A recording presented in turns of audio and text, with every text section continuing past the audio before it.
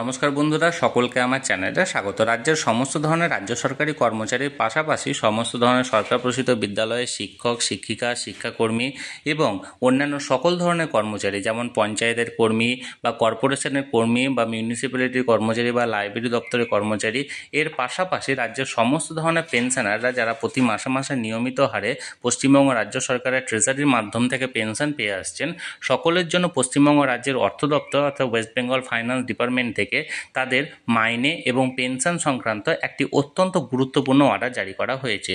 কি সেই অর্ডার অর্ডারে কি কি বলা হয়েছে? সকল কিছু আজকের ভিডিওতে বিস্তারিতভাবে আলোচনা করব। ভিডিওটি সকলের জন্য অত্যন্ত গুরুত্বপূর্ণ, তাই প্রথম থেকে শেষ পর্যন্ত অবশ্যই ধৈর্য সহকারে দেখবেন এবং ভালো লেগে থাকলে অবশ্যই একটি লাইক করবেন এবং সকলের সঙ্গে শেয়ার করবেন। আর সেই সাথে এই চ্যানেলে যদি প্রথমবার হয়ে থাকেন, এরকমের ইনফরমেটিভ ভিডিও আরও দেখার জন্য যারা এখনও পর্যন্ত এই চ্যানেলটিকে সাবস্ক্রাইব করেননি, তারা অবশ্যই চ্যানেলটিকে সাবস্ক্রাইব করে নিতে ভুলবেন না। তাহলে চলুন আমরা বিস্তারিত দেখে নিই। ওয়েস্ট বেঙ্গল ফাইন্যান্স ডিপার্টমেন্ট থেকে যে অর্ডারটি মূলত জারি করা হয়েছে, সেটি হলো রাজ্যের সকল ধরনের রাজ্য সরকারি কর্মচারীর পাশাপাশি সমস্ত ধরনের পেনশনারদের জন্য জুন মাসের স্যালারি এবং পেনশনটি কবে নাগাদ তাদের অ্যাকাউন্টে পেতে চলেছে বা কবে নাগাদ ক্রেডিট হতে চলেছে, সেই সংক্রান্ত। তাহলে চলুন আমরা এক এক করে মূলত জেনে নিই যে কবে নাগাদ কোন ধরনের কর্মচারীরা তাদের জুন মাসের স্যালারিটি পেতে চলেছে। প্রথমত, রাজ্যের সমস্ত ধরনের রাজ্য সরকারি কর্মচারী যারা যারা আছেন, সমস্ত রাজ্য সরকারি কর্মচারীরা তাদের জুন মাসের স্যালারিটা তাদের হাতে পেতে চলেছে। আগামী পয়লা জুলাই দু হাজার চব্বিশ, অর্থাৎ পয়লা জুলাই সোমবারের দিন তারা তাদের অ্যাকাউন্টে তাদের স্যালারিটি পেতে চলেছে। এবার রাজ্যের সমস্ত ধরনের রাজ্য সরকার প্রসিত যে সমস্ত বিদ্যালয় আছে, সমস্ত বিদ্যালয়ে শিক্ষক, শিক্ষিকা বা শিক্ষাকর্মী যারা যারা আছেন, তারা তাদের জুন মাসের স্যালারিটা তাদের অ্যাকাউন্টে পেতে চলেছে ওই একই দিনে, অর্থাৎ আগামী পয়লা জুলাই সোমবারের দিন।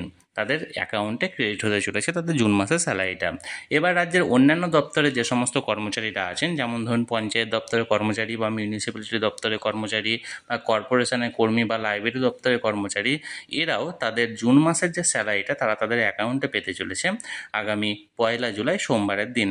এবার আমরা জানব রাজ্যের সমস্ত ধরনের পেনশনার যারা যারা আছেন, যারা মূলত রাজ্যের ট্রেজারির মাধ্যম থেকে নিজেদের পেনশন পেয়ে আসেন, তারা এই মাসের অর্থাৎ জুন মাসের তাদের পেনশনটি তারা তাদের অ্যাকাউন্টে পেতে চলেছে আগামী দোসরা জুলাই মঙ্গলবারের দিন।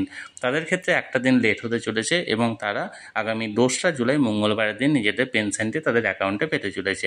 এবার যে সমস্ত কন্ট্যাকচুয়াল কর্মচারীরা আছেন বা যে সমস্ত ধরুন প্যারা টিচার এসএসকে টিচার বা এমএসকে টিচার এর পাশাপাশি রাজ্যের বিভিন্ন অনোরিয়াম স্টাইফেন প্রাপক যারা যারা আছেন বা বিভিন্ন প্রকল্পের টাকা প্রাপক যারা যারা আছেন, যেমন ধরুন লক্ষ্মীর ভাণ্ডার প্রকল্পের টাকা বা বিধবা ভাতা প্রকল্পের টাকা বা বার্ধক্য ভাতা প্রকল্পের টাকা যারা যারা পেয়ে আসছেন, তারা তাদের জুন মাসের তাদের স্যালারি বা তাদের প্রকল্পের টাকা বা তাদের স্টাইফেন বা তাদের অনোরিয়াম সমস্ত কিছুই তাদের অ্যাকাউন্টে পেতে চলেছে।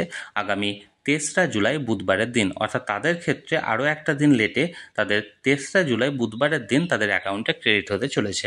তাহলে এই অর্ডার অনুযায়ী রাজ্যের সমস্ত ধরনের রাজ্য সরকারি কর্মচারী, সমস্ত ধরনের সরকার প্রসিত বিদ্যালয়ের শিক্ষক, শিক্ষিকা, শিক্ষাকর্মী এবং অন্যান্য সকল ধরনের কর্মচারী প্রত্যেকের ক্ষেত্রে জুন মাসের স্যালারিটা তারা পেতে চলেছে।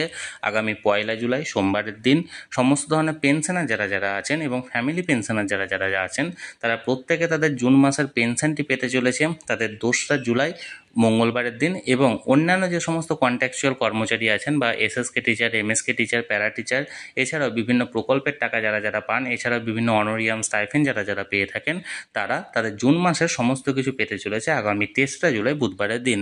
তাহলে বন্ধুরা ওয়েস্ট বেঙ্গল গভর্নমেন্টের ফাইন্যান্স ডিপার্টমেন্ট থেকে জুন মাসের স্যালারি পেনশন স্টাইফেন সহ যে অর্ডারটি জারি করা হয়েছিল, সেটি সরাসরি আমি আপনাদের সঙ্গে শেয়ার করলাম। এই নিয়ে যদি আপনাদের কোনো মতামত বা কোনো প্রশ্ন থাকে, অবশ্যই কমেন্ট করে জানাতে পারেন।